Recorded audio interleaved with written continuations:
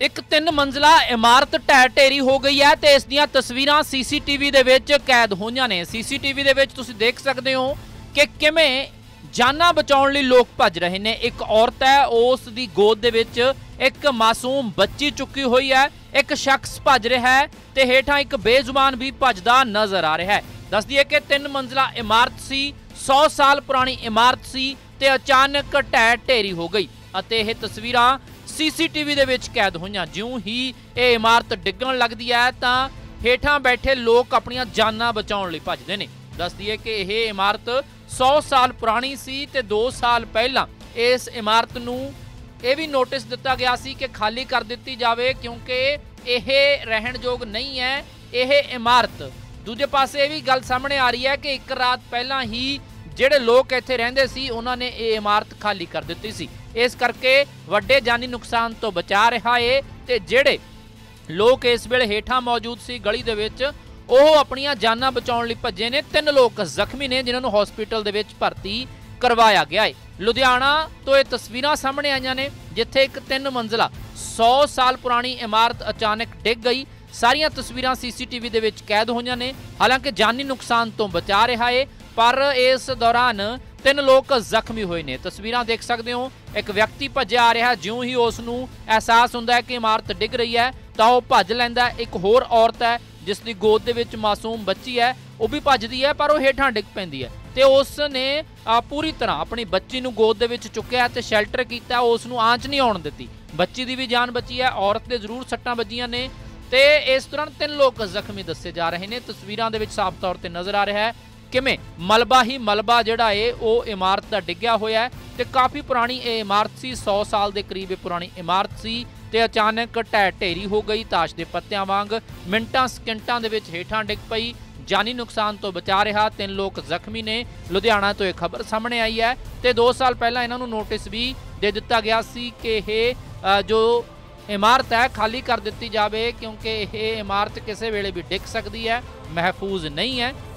ਹਾਲੇ ਇੱਕ ਰਾਤ ਪਹਿਲਾਂ ਹੀ ਜਿਹੜੇ ਲੋਕ ਇੱਥੇ ਰਹਿੰਦੇ ਸੀ ਉਹਨਾਂ ਦੇ ਵੱਲੋਂ ਇਸ ਇਮਾਰਤ ਨੂੰ ਖਾਲੀ ਕਰ ਦਿੱਤਾ ਗਿਆ ਜਾਨੀ ਨੁਕਸਾਨ ਤੋਂ ਬਚਾ ਰਿਹਾ ਹੈ ਤਿੰਨ ਲੋਕ ਜ਼ਖਮੀ ਹੋਏ ਨੇ ਜਾਨਾਂ ਬਚਾਉਣ ਲਈ ਭੱਜੇ ਨੇ ਲੋਕ ਜਿਵੇਂ ਹੀ ਇਹ ਇਮਾਰਤ ਡਿੱਗਦੀ ਹੈ ਮੇਰਾ ਨਾਮ ਰੁਦਰਾਂਸ਼ ਹੈ ਜੀ जी क्या हुआ यहाँ पर आपके साथ? ਇਹ ਸਾਡੇ ਇੱਧਰ ਜੀ ਮਕਾਨ ਗਿਰਿਆ ਹੈ ਉੱਚੀ ਗਲੀ ਤੇ ਇਹਨਾਂ ਨੂੰ 2 ਸਾਲ ਹੋ ਗਏ ਨੋਟਿਸ ਦਿੱਤਾ ਹੋਇਆ ਵਾ ਕਿ ਮਕਾਨ ਖਾਲੀ ਕਰ ਦਿਓ ਕੋਈ ਮਕਾਨ ਨਹੀਂ ਕੋਈ ਠੀਕ ਨਹੀਂ ਕਰਾਉਂਦੇ ਜੀ 2 ਸਾਲ ਹੋ ਗਏ ਮੇਰਾ ਮੋਟਰਸਾਈਕਲ ਵੀ ਸੀਗਾ ਇੱਧਰ ਉਹ ਵੀ ਥੱਲੇ ਆ ਗਿਆ ਲੇਡੀਜ਼ ਨੂੰ ਵੀ ਸੱਟ ਲੱਗੀ ਆ ਉਹਨਾਂ ਦੇ ਟੁੱਟ ਗਿਰੀ ਆ ਉੱਪਰ। ਘਰ ਤੇ ਘਰ ਕੋਲ ਦੋ ਘਰ ਗਿਰ ਗਏ ਆ। ਕਿੰਨੇ ਕੋਈ ਬੰਦਾ ਇੰਜਰਡ ਹੋਇਆ ਹੋਣਾ? ਨਹੀਂ ਹਾਂਜੀ ਇੱਕ ਲੇਡੀ ਹੋਈ ਆ ਇੰਜਰਡ ਤੇ ਉਹਨਾਂ ਦਾ ਬੇਟਾ ਆਇਆ ਵਾ। ਔਰ ਜਿਸ ਲਈ ਆ ਮਕਾਨ ਡਿੱਗਿਆ ਉਸ ਦੇ ਮਕਾਨ 'ਚ ਕੋਈ ਸੀਗਾ? ਨਹੀਂ ਕੋਈ ਨਹੀਂ ਸੀਗਾ ਜੀ ਬਚਾਅ ਹੋ ਗਿਆ। ਪਹਿਲਾ ਹਿੱਸਾ ਗਿਰਿਆ ਮਕਾਨ ਦਾ ਪਿਛਲਾ ਬਚ ਬਚ ਗਿਆ ਆਇਆ ਵਾ। ਠੀਕ ਹੈ ਤੇ ਇਸ ਮਕਾਨ 'ਚ ਫੈਮਿਲੀ ਰਹਿੰਦੀ ਸੀਗੀ? ਫੈਮਿਲੀ ਪੰਜ ਛੇ ਫੈਮਲੀਆਂ ਰਹਿੰਦੀ ਸੀਗੀ। ਠੀਕ ਹੈ ਤੇ ਜਿਸ ਲਈ ਡਿੱਗਿਆ ਉਸ ਕੋਈ ਨਹੀਂ ਸੀਗਾ? ਨਹੀਂ ਕੋਈ ਵੀ ਨਹੀਂ ਸੀਗਾ ਜੀ ਬਚਾਅ ਹੋ ਗਿਆ ਜੀ। ਰਾਤ ਨੂੰ ਵੀ ਥੋੜੇ ਇੱਟਾ ਉੱਟਾ ਗਿਰੀਆਂ ਮਕਾਨ ਦੀਆਂ। ਸਵੇਰੇ ਸਭ ਨੇ ਖਾਲੀ ਕਰਤਾ ਸੀਗਾ। ਹਾਂਜੀ।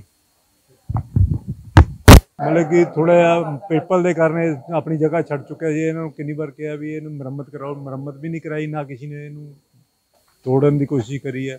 ਤੇ ਜਿਹੜੇ ਨਾਲ ਦਾ ਜਿਹੜਾ ਖੋਲੇ ਵਾਲਾ ਸੀਗਾ ਉਹ ਬੰਦਾ ਨਾਲ ਦਾ ਮਾਲ ਮਕਾਨ ਬਕਾ ਬਣਾ ਕੇ ਵੇਚਤਾ ਤੇ ਨਾਲ ਖਾਲੀ ਰੱਖਿਆ। ਉਸ ਤੋਂ ਬਾਅਦ ਜਿਹੜੀ ਆ ਬਿਲਡਿੰਗ ਹੈ ਇਹਨੂੰ ਕਿੰਨੀ ਵਾਰ ਜਿਹੜੇ ਬੰਦੇ ਕਿਰਾਏ ਤੇ ਰਹਿੰਦੇ ਸੀ, ਉਹ ਛੱਡ ਕੇ ਚਲੇ ਗਏ। ਜੀ 2 ਸਾਲ ਹੋ ਗਏ ਇਹਨਾਂ ਨੂੰ ਛੱਡ ਕੇ। ਲੇਕਿਨ ਨਾ ਇਹਨਾਂ ਨੇ ਢਾਇਆ ਨਾ ਵਾਸਤਾ ਜਿਸ ਦਿਨ ਆ ਹੁਣ ਹੌਲੀ ਹੌਲੀ ਹੌਲੀ ਜਰਜਰ ਕਰਕੇ ਗਿਰਨ ਲੱਗੀ ਹੈ। ਕੱਲ ਕੱਲ ਥੋੜੀ ਜਿਹੀ ਗਿਰੀ, ਖਾਲੀ ਹੋ ਗਿਆ। ਪਿੱਛੇ ਜਿਹੜੇ ਰਹਿੰਦੇ ਮਕਾਨ ਤੇ ਮਕਾ- ਜਿਹੜੇ ਕਿਰਾਏਦਾਰ ਮੁੰਡੇ ਰਹਿੰਦੇ ਆ, ਉਹ ਸਾਰੇ ਸਵੇਰੇ ਕੰਮ ਤੇ ਚਲ ਜਾਂਦੇ, ਉਸ ਵਕਤ ਖਾਲੀ ਹੈ। ਹੁਣ ਜਿਹੜਾ ਗਿਰੀ ਹੈ ਤੇ ਇੱਕੋ ਲਤ ਗਿਰ ਗਿਰਨ ਦੇ ਨਾਲ ਹੀ ਇਹ ਬਸ ਬਾਹਰ ਜਿਵੇਂ ਮਲਬਾ, ਜਿਵੇਂ ਹੜ ਦੀ ਤਰ੍ਹਾਂ ਚਲੇ ਗਿਆ ਅੰਦਰ ਨੂੰ। ਹੜ ਦੀ ਜਿਹੜਾ ਜਾਣ ਦੇ ਨਾਲ ਅੱਗੇ ਲੇਡੀ ਸੀਗੀ, ਉਹ ਬੱਚੇ ਸਣੇ ਬੁੜ ਕੇ ਮਲਵੇ ਦੇ ਨਾਲ ਗਿਰੀ ਹੈ। ਤੇ ਬਹੁਤ ਇੰਜਰਡ ਹੈ ਉਹ ਆਪਣੇ ਰਾਮਚਰ ਟੇਬਲ ਦੇ ਵਿੱਚ ਦਾਖਲ ਹੈ। ਤੇ ਬਾਕੀ ਬੱਚੇ ਦੀ ਬਚਾਅ ਹੋ ਗਿਆ ਥੋੜਾ ਜਿਹਾ ਲੇਕਿਨ ਬੱਚਾ ਅਜੇ ਕਹਿੰਦੇ ਮੈਨੇ ਸੁਣ ਚ ਆਇਆ ਵੀ ਬੋਲਦਾ ਨਹੀਂ ਅਜੇ ਤੇ ਬਾਕੀ ਇਹਨਾਂ ਦਾ ਮੋਟਰਸਾਈਕਲ ਵਗੈਰਾ ਸਕੂਟਰੀਆਂ ਥੱਲੇ ਹੀ ਮਲਬੇ ਦੇ ਵਿੱਚ ਹੀ। ਬਾਕੀ ਜਾਨੀ ਜਾਨੀ ਨੁਕਸਾਨ ਕੋਈ ਨਹੀਂ ਹੋਇਆ। ਠੀਕ ਹੈ। ਤੇ ਇਹ ਬਿਲਡਿੰਗ ਕਿੰਨੀ ਪੁਰਾਣੀ ਸੀ ਇਹ ਨੀਅਰ ਅਬਾਊਟ 100 100 ਸਾਲ 110 ਸਾਲ ਪੁਰਾਣੀ ਹੈ। ਇਸ ਮੁਹੱਲੇ ਦੇ ਵਿੱਚ ਐਦਾਂ ਦੀਆਂ ਕਿੰਨੀਆਂ ਬਿਲਡਿੰਗਾਂ ਹੈਗੀਆਂ?